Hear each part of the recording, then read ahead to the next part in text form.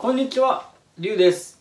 え本日は、えチューナーを使わずにチューニングする方法を、えー教えていきたいと思います。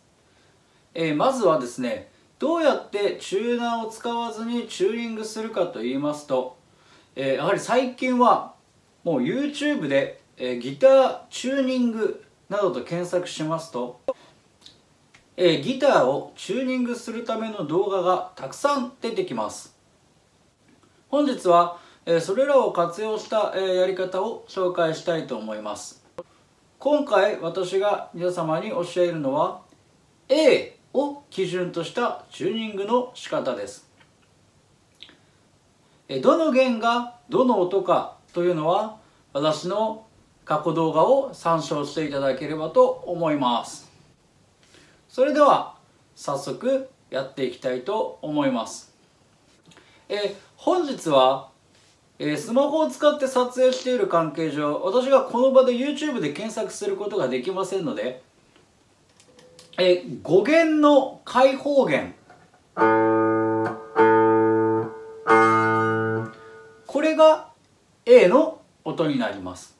5弦の A この音を、えー中心にチューニングをしていきます。まずは6弦を合わせていきましょう。6弦を合わせるには5弦の開放。開放というのはどこも押さえずに弦を弾くことです。5弦を鳴らしてみましょう。この A の音と6弦の5フレット。が同じ音になります。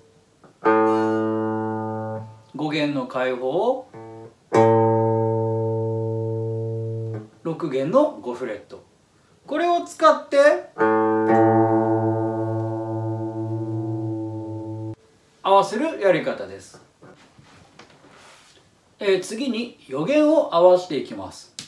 予弦は5弦の5フレット。4弦の開放を弾きます。こ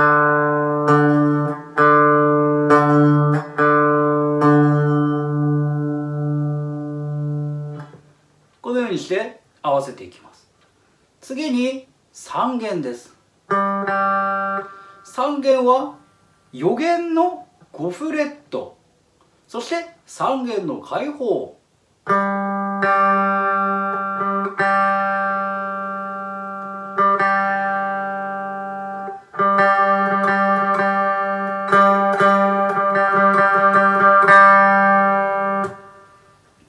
次に2弦を合わせていきます。2弦は3弦の4フレット。2弦の開放。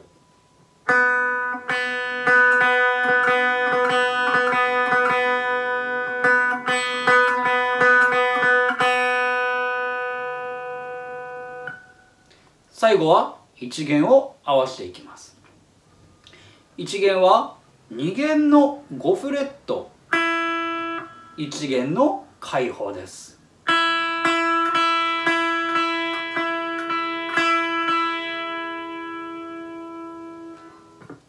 はい。では最後におさらいをしていきます。まずは5弦の開放。これを一番最初に、えー YouTube の動画などを使って合わせていきます。そして6弦の5フレット。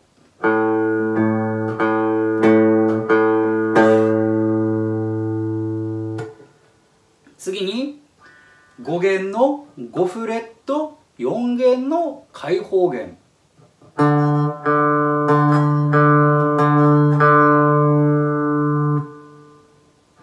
次に4弦の5フレットと3弦の開放弦。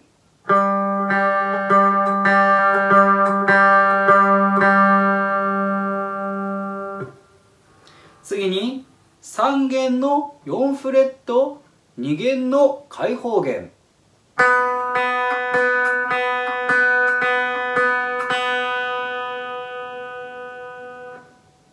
最後に2弦の5フレット1弦の開放弦。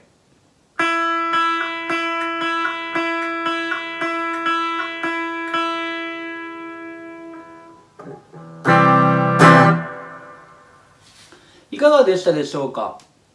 少しチューナーを使ったチューニングより経験が必要となるかもしれませんので難しく感じるかもしれませんが覚えておくととても便利です、えー、最後にですね、えー、先ほど言った A の音がうまく見つからないという人もいらっしゃるかもしれませんので、えー、この動画の後にですねチューニング用の A の音を、え動画として上げておきますので是非えチューニングの際にそちらを使ってみてください。それではご視聴ありがとうございました。よろしければチャンネル登録をよろしくお願いします。それではまた。